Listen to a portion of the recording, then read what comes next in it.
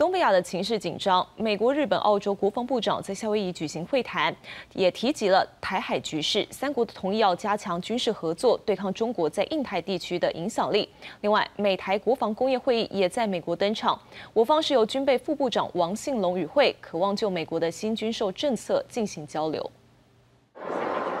东北亚情势紧张，美国国防部长奥斯汀、澳洲国防部长马勒斯、日本防卫大臣冰田敬一一号在夏威夷举行三方会谈，三人就俄乌战争、朝鲜半岛以及台海局势进行讨论。美日澳三国同意加强军事合作，对抗中国在印太地区的影响力。And our shared vision for a free and open Indo-Pacific region.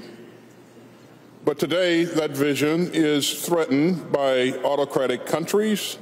We are deeply concerned by China's increasingly aggressive and bullying behavior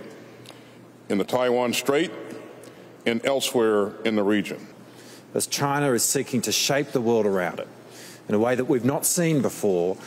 we see great challenges for Australia and for our region in terms of upholding that rules based order. 日本防卫大臣冰田敬一也表示，中国单方面以武力改变南海跟东海现状， 国际秩序的基础遭到破坏。学者分析，以往都是美日或是美澳等双边部长会谈，这一次美日澳三国防长共同开会，也是要宣示加强在印太地区的防线跟安全保障。呃，美国在太平洋这里的这个海上的力量部署，呃，会将是呃协同美呃日本跟澳洲为主要的盟友，来